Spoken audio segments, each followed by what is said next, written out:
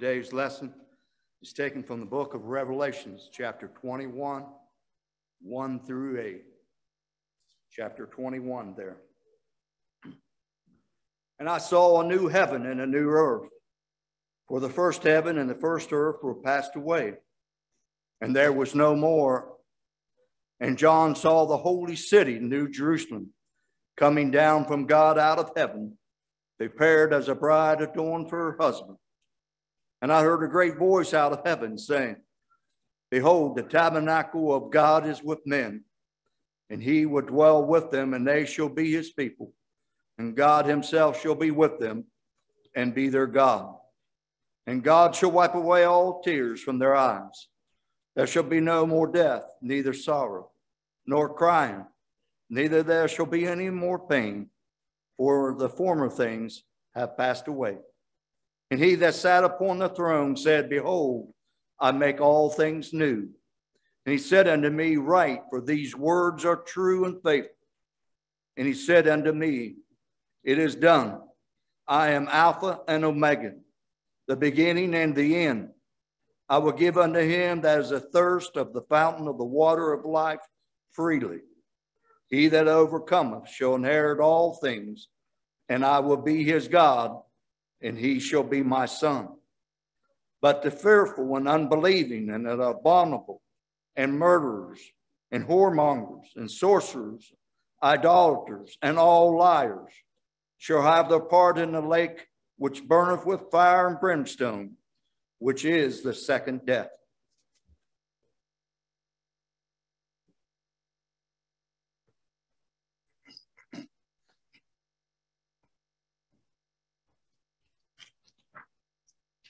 This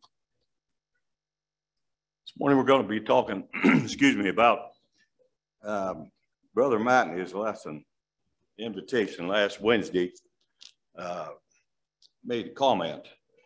For the last two years, going on the third year now, we faced a dilemma that's encompassed the whole world. Everybody. I mean, I'm talking children, everyone. It, it's altered everything that we, we set out to do, and it's taken its toll, and it's still doing it. And, and it's one of those things, it's a dilemma that enters into every conversation, every time you talk to somebody, every time you get together, every, it's always brought up. It's a subject that's constantly, but there's something that's more important than that. and we need to look at that in reality. This morning, it's going to affect everyone as well as this virus, but it's something that we need to face and, and just seem to kind of put it aside. We worry about the cares of, of the day more than we do about the cares of our souls. So we're going to be looking at something today. and what we're talking, going to talk about is journeys. Every time that somebody gets up and make announcements, just like this morning, Brother Zach, well, Rick and Sue, they're in, they're in Columbus. And, and so-and-so is attending here with their parents down in Moundsville. And it's on and on. It's somebody has gone someplace all the time. and you know, when we go on these journeys, it's inevitable that we get preparation. If you're going, I mean, I mean, there's endless. This group here, I'm not talking about the whole community. I'm just talking about what I'm looking out on right now. Somebody goes someplace all the time, and it's not like, as mentioned this morning in the Bible study, 30 mile from here to Cambridge. Well, and back if you live down there and come here to worship. That's 60 mile. Well, that uh, the queen there was making 20 to 25 mile in a day.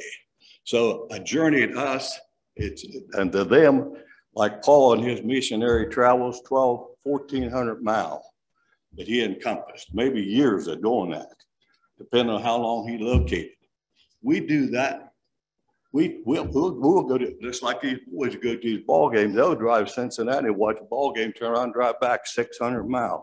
It's nothing. A journey to us is nothing. But we go on these trips, whether it's going, we want to go someplace that we we feel like it. Uh, it's someplace we never seen. It's a someplace it's serene. It, it's beautiful. It, it's it's enchanting and maybe it's been told by us by somebody else, and you ought to go there. So we we don't hesitate to gather our stuff up, but we don't take these trips. We take medication if we need it. We call ahead, we make reservations for our automobiles, we rental cars, we, our lodging and all, and our plane tickets. In other words, to get the best, and it's a year ahead, we plan these things. Listen, we're headed on a trip some of these days. I don't care if it's the smallest one back there or if it's the oldest. We're headed on a one-way trip. Are you making reservations for that trip? That's the one that's more meaningful than any trip you're going to take. And you said it before, we're all going to the same place. You go there, I go here, we go, but we're all going right to the same place. The judgment seat of God. It's inevitable. That's a trip you're going to make. Why are you going to? Because Hebrews 9 and 27 tells me, as is is appointed unto man once to die, and after this comes the judgment. And Second Corinthians 5 and 10 there tells us we'll be judged according to the things we've done in this body, whether it be good or whether it be evil. And the reason why I want to thank Brother Mike for that uh, reading that lesson you want to keep your minds and your thoughts on what he read there. Those first few chapters there in, in Revelations 21 and start with verse 9 sometime and read on down through that. You'll get the meaning of what we're talking about here this morning. So we're going to be taking these uh, these routine journeys, like you say, from time and time. But we've got to have our GPSs. We got to have our automobiles. Most of them today are fixed so that you just flip a few buttons there, and they'll take you right here, right there, and here's your destination. Get out. That's all you got to do. I mean, I'm gonna tell you, it's a it's miraculous, but there's maps that just it covers this country like a blanket. But you ever stop and think? We've been studying in our Bible study. There's a man years ago. His name was Abram. He lived in Ur Chaldees.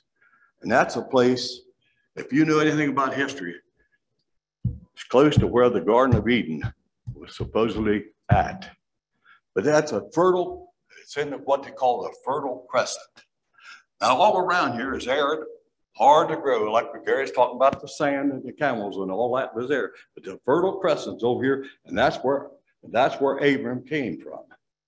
But God come to him and he said, at, uh, to Abram, he said, uh, "You've got to get out of this country." He said, "You take your take you, your parents, whatever is necessary, and leave this country." And he said, "I'll tell you where you where I want you to go." Well, he didn't. And listen, that man was was basically had to be in, in, the neighborhood around seventy years old. So he left there, and he went up to Haran, up here, way up here. He stayed there for a short time. God, come on, keep going. He said, I promised you a land. So he goes down to Shechem, S C H E C H E M. And he lies there for a while. Then a great famine hit the land. A famine hit the land. So once again, he was told to move on. Listen, he didn't have no roadmaps. He didn't have anything. He was totally dependent on God to take him. So he goes down into Egypt. And he stays there for a short time. Well, then he journeys back because God said, That's not the land I promised you. And I promised you, you'll be a father of many nations, and there's a lot of things going to transpire. So it, uh, move on with this story. So he moves, he comes back. And in the process, he was given a son. He gave actually two sons, but we know the one he was given was, was the one that we need to know about. His name was Isaac. And then from Isaac came who? Two sons. One of them was the father of the 12 tribes of Israel. So, in the same process, over a period of years, here he goes. Famine hits the land, he has to go down and eat. He takes 70 descendants with him. And then over 400 and some years, as Brother Gary mentioned in the Bible study, they multiplied to the millions. Pharaoh got anxious, get them out of here. So, in other words, so they did. God, once again, no roadmap. God depended on God, and they followed him. He crossed, parted the waters. He led them 40 years in the wilderness. guided by a cloud the day and a pillar of fire at night. That's it. But he kept on leaving. And he crossed another body of water and they went into the promised land. So that tells me you can either take your roadmaps that mankind formulates and use them to the best of your ability, which is good. But you better warm on that. You better think of that plan that God's given us. It's going to lead, because he says a temporal thing. Flesh and blood will not inherit the kingdom of God. That's what the scriptures tell us. So you better find out what God wants us to do. How are you going to do that? So you read your Bibles. You read your Bibles. What does James say? 4, 13 through 15. Today or tomorrow, I'll go to such and such a city, I'll buy and sell and make gain. He said, What is your life? He said, Your life is like a vapor that appears for only a little while and then it vanishes away. So we ought to say, if God wills, we will do this or that. We're always planning on what we're going to do tomorrow to buy and to sell and to make gain, temporal things. That's where we set our sights, and we're all guilty of that. but we better start reading our Bibles and see what it says. It says that the days of our years are those of three score and ten, and if by reason of strength they be fourscore years, Yet is their strength, labor, and sorrow, for it soon be cut off, and we all fly away. Psalms 9 and 10. so we know that we're going to be traveling on to the next lifetime. But you know, back in that story when Gary was talking this morning, in 2 Samuel 12 and 23, there was an incident that took place with Solomon's father. His name was David. He was involved with a beautiful woman. Not by her choosing, but his choosing. He was overcome by the lust of the flesh. So he got tied up in that, and there's a child come forth from this, from this union. But God told him that child will not live. He already knew it ahead of time a child will not live. So here, and the child died, and David, in his remorse, is what he said. But now he is dead. Wherefore should I fast? Can I bring him back again?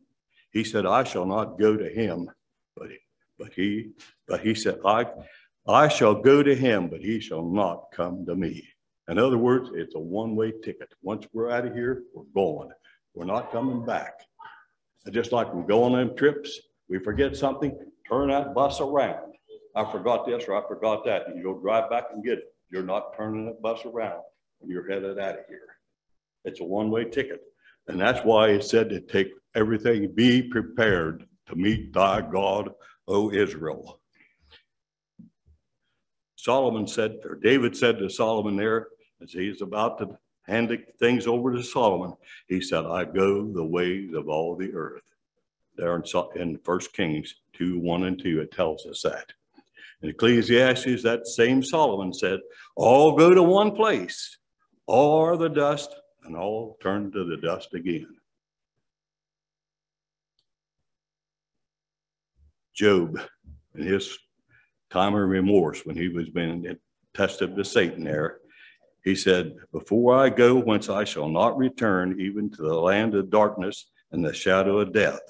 The land of darkness is darkness itself, and of the shadow of death without any order, and where the light is as darkness. You read that story there uh, pertaining to uh, what uh, where Mike left off, you're not going to find any darkness in heaven. It's going to be light. But if you go to the other place where you don't want to go, it's going to be dark. Believe me, and when Gary mentioned dark as a coal mine, that's not even close to what it's going to be like. Because that scriptures tells me when he says it's a fearful thing to fall into the hands of the living God. And I can't imagine, we can't even imagine what that fearful is to fall into the hands of God. It's going to be something that we will not really be able to comprehend. so I'm going to read you a little story here. there was in Luke, the 16th chapter, verses 19 through 30, or 19 in that area, 30. There was a certain rich man which was clothed in, fine, in purple and fine linen and fared sumptuously every day. And there was a certain beggar named Lazarus, which was laid at the gates of full of sores, and desiring to feed the, be fed the crumbs with which fell from the rich man's table. Moreover, the dogs came and licked his sores. And it came to pass the beggar died and was carried by the angels into Abraham's bosom, and the rich man also died and was buried. And now he lifted up his eyes, being in torment, and seeth Abraham afar off, and Lazarus, and Lazarus in his bosom. And he cried and said, Father Abraham, have mercy on me, and send Lazarus that he may dip his finger in water and cool my tongue, for I am tormented in this flame. And Abraham said, Son, remember that thou in thy lifetime received thee good things, and likewise Lazarus evil things. But now he is comforted, and thou art tormented. And besides all this, between us and there is a great gulf fixed, so that they which passed, which they would would pass from hence to you cannot, neither can they pass to us, and would come from thence. Then he said, I pray thee, therefore, Father, that thou wouldest send him into my father's house, for I have five brethren, that he may testify unto them, lest they also come unto this place of torment.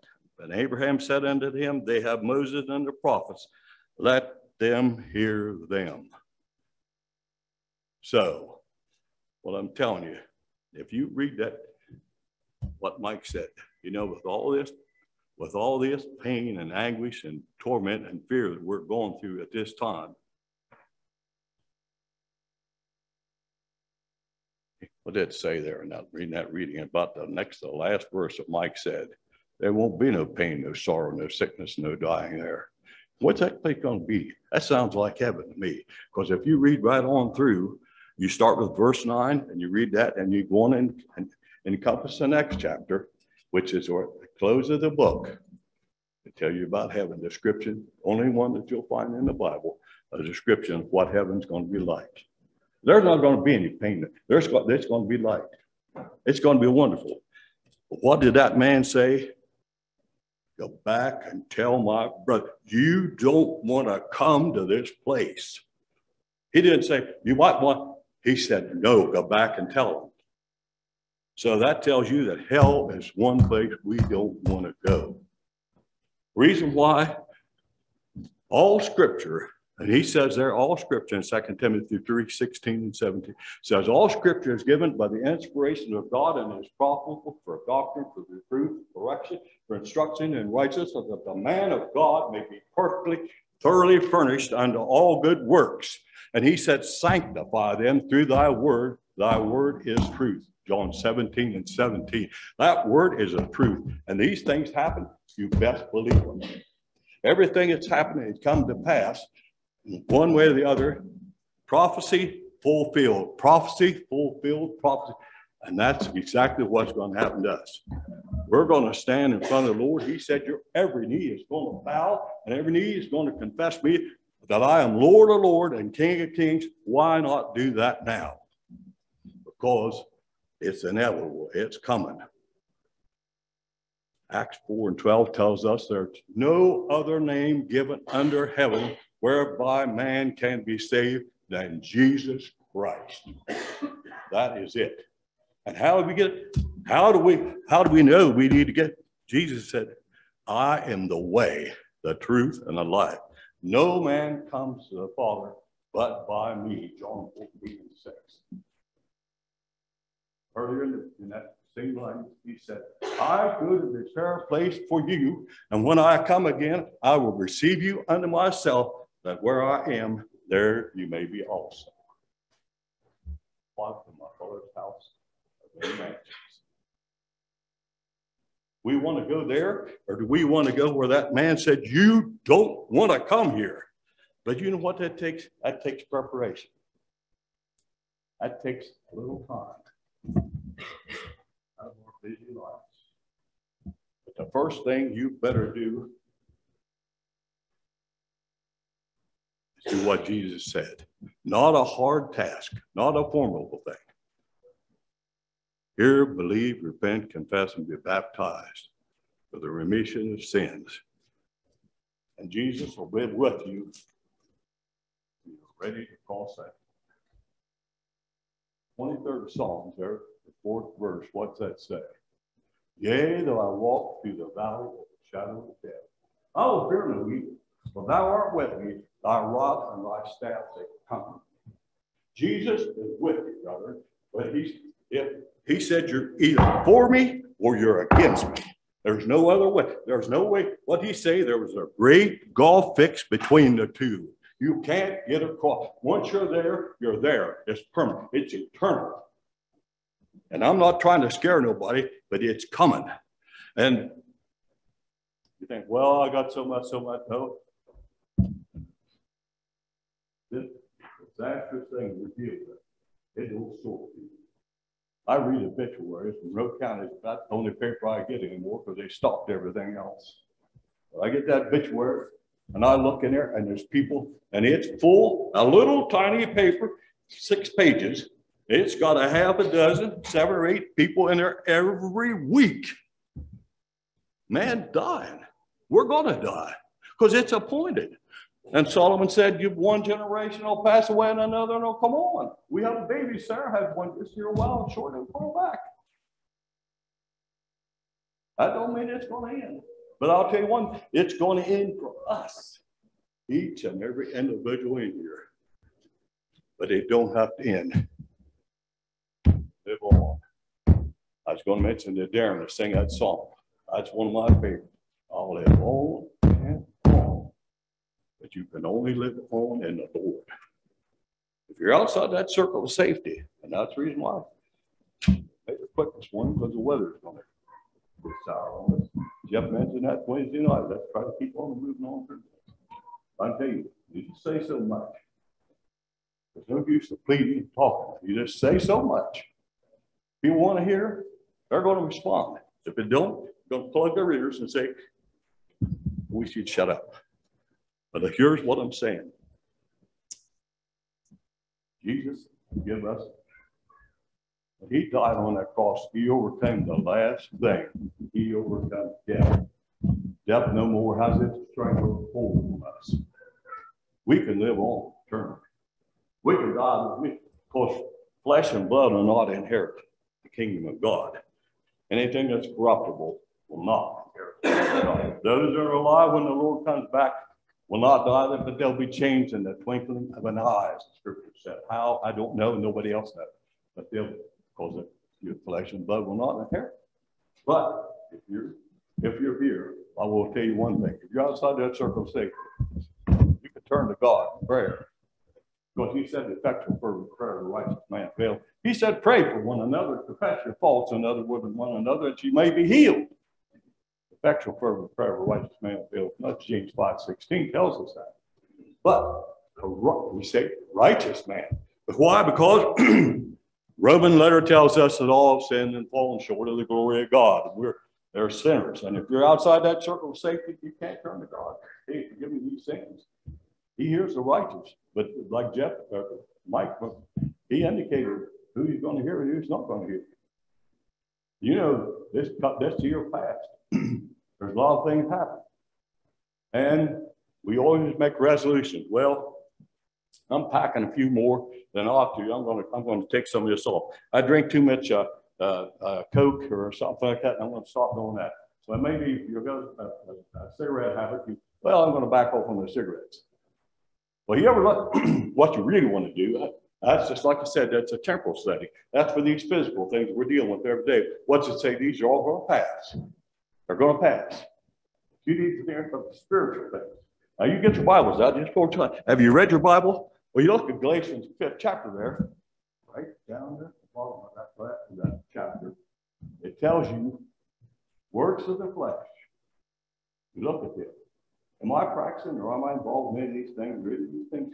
Am I just going borderline with some of this stuff? I'm going to quit doing that. I'm going to back off. That's my New Year's resolution. I'm going to start doing it. Going down here just a little bit further, he gives the fruits of the Spirit. You, I want to tell you one thing. You're going to stop doing these, then you better start doing these Because 50, 50 don't get it. He wants hundred percent of us. So if you're, you're practicing the, the fruits of the spirit, as long as you denying the works of the flesh, then you're headed in the right direction. That's a New Year's resolution you want to take, because you know why? Because it's not just a deal with what I'm going to do this year, it's dealing with eternity.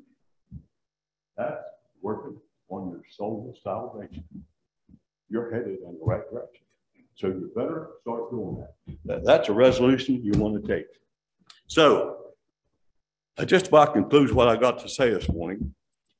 Appreciate the attention, everybody, but I can only encourage you. Life marches on. The three sworn ten, I passed that. Gary's passed that. Several years past that. Buy out and good drinks, you know, we're living on. That don't say we're gonna walk back through them doors next Wednesday night. If This virus going on, that means that maybe possibility that you might inherit that. You're not able to come back. You're not able to get in front of the audience of people. Best of Jesus Christ, the Son of God. You better think about it. You've got an opportunity. Because the wages of sin, Romans six and twenty-three, is death. And I'm not talking about this death in God. I'm talking about eternal death. You'll not be there with God in the afterlife. Because sin will not be in the kingdom of God in heaven. So if you're subject to gospel call, you want to keep in mind that if you've done something or said something contrary, you're, you're a member of the Lord's church and you just feel like you're just, you need the prayers of the brothers. Know what he said there in James five sixteen, confess your fault to one another, pray for one another that you might be healed. That's what we need to do. If you're subject to gospel call, you've got to hear, believe, repent, confess, baptize, wash away their sin, to rise and walk in newness of life. Twenty twenty-two. So if you're subject, this time, come forward, if I would stand and sing.